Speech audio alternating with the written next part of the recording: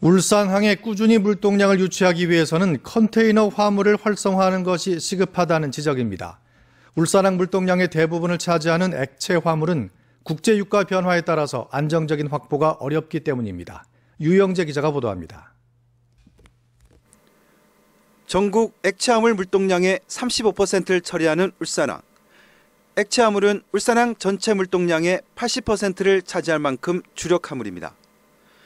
울산항 물동량은 2012년 1억 9,697만 톤으로 사상 최고점을 찍은 뒤 2013년과 2014년 1억 9,100만 톤대에서 정체 현상을 보이고 있습니다. 이 같은 현상은 국제 유가 변화에 따라 액체 화물을 안정적으로 확보하기가 어렵기 때문인데 이에 대한 보완 수단으로 컨테이너 물동량을 키울 필요성이 커지고 있습니다.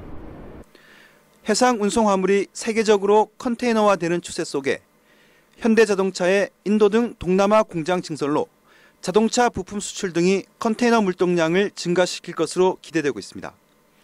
하지만 울산항은 4천 TU급 대형 선박의 입출항이 어렵고 전기선 항로가 부족해 지역 화물의 6, 70%가 부산항을 통해 빠져나가는 실정입니다.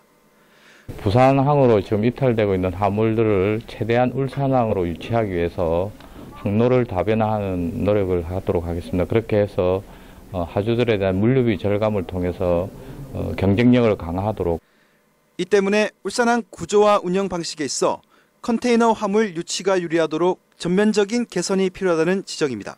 MBC 뉴스 유영지입니다.